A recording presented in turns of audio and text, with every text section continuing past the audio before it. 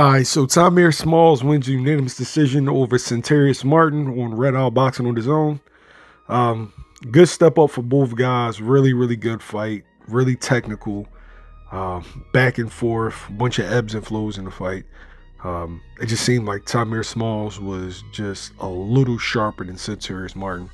And significantly bigger puncher. Like his shots, even when Seantorius landed flush, when Smalls landed a, a, a, glancing shot, it did more visible damage. Um, I can say that Seantorius finished the, the eighth round really, really strong, but I felt like that was the deciding factor. Smalls won probably two thirds to three fourths of that round, and it was a little too little. It was a little too little, a little too late uh, towards that. Um, both guys, it seemed like this was the perfect time to have step ups, even though they haven't been as active as you could tell they wanted to be.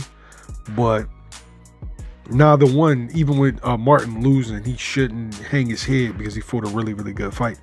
And uh, I could see him going back to the lab, you know, fixing some things and um, getting back in there with another prospect and possibly getting a W.